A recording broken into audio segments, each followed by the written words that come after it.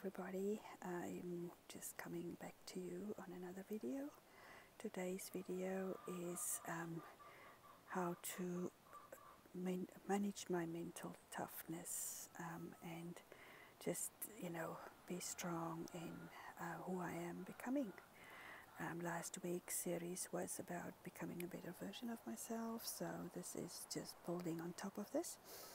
And I shall come to you every day today, uh, this week, to talk through this. For me, changes have really been happening, and it's really just been an amazing ride so far. Um, I've joined this amazing group called the Inside Out Institute. Um, who is really helping me with coaching on the conscious level with leadership transformational coaching with Todd Cahill and um, also healing on the subconscious side with Emmanuel and his team um, based on the emotion code and body code. Um, I have achieved my emotion code certification and I am working on my body code and hope to get this done at least um, as soon as possible.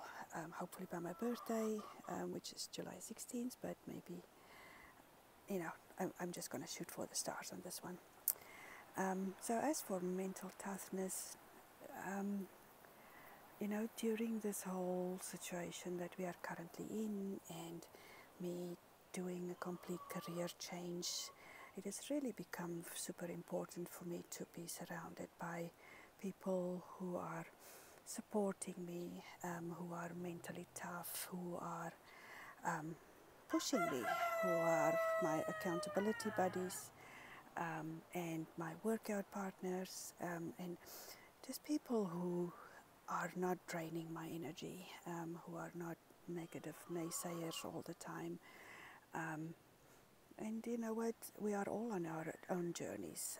For me, this is a time to really to take care of myself, to really look out for myself, and to really do what's best for me and my soul and God and higher self and, and my even my little inner child has really come to me with really amazing opportunities really amazing knowledge um, and just inner quiet and inner strength that has really guided me um, through this time and I am feeling super confident about um, what I'm, the path that I'm pursuing and what I'm going to continue doing.